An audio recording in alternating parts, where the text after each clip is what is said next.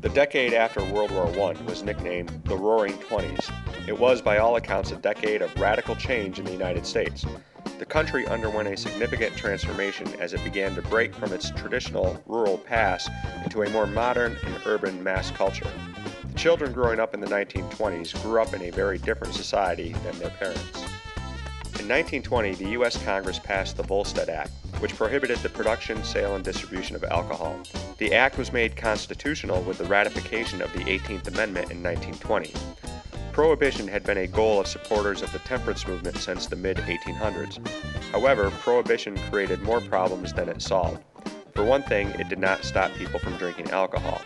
Saloons were replaced by illegal drinking establishments known as speakeasies.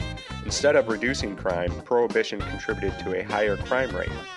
Without government regulation of alcohol, the industry moved to the black market and was controlled by organized crime figures who used violence to fight for dominance in the trade of illegal or bootleg alcohol.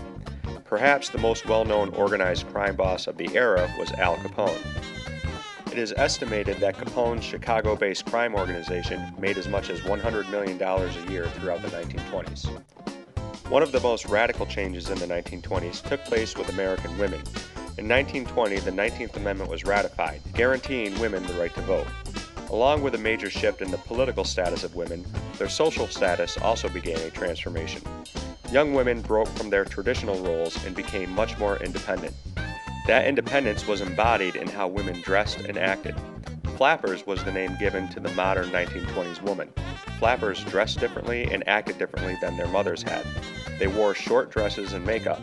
Many also cut their hair short. The significance of the flapper went beyond mere fashion. She represented a modern, independent, and confident woman. The world of art and literature also reflected changing values in American society. After World War I, a group of disillusioned artists and writers known as the Lost Generation emerged. The Lost Generation viewed modern American society as corrupt and spiritually empty. In his novel, The Great Gatsby, F. Scott Fitzgerald criticized 1920s culture as superficial and obsessed with material gain and social status. The paintings of Edward Hopper depicted scenes of modern society as lonely and isolated. Not all art in the 1920s was about loneliness and despair. African Americans began to contribute to American art and literature during what was called the Harlem Renaissance. It was the Harlem Renaissance that gave rise to a new form of music. Musicians such as Duke Ellington, Louis Armstrong, and Billie Holiday introduced the world to jazz. Jazz was a massive departure from earlier music and is the basis for much of the modern music we listen to today. Black writers, including most famously Langston Hughes, Zora Neale Hurston, and Paul Robeson, contributed to American literature by confronting issues of race in their novels, plays, and poems. The Harlem Renaissance transcended the arts into politics and civil rights. Black leaders like the controversial Marcus Garvey began to stir the consciousness of African Americans when he championed the black nationalism movement and African American pride.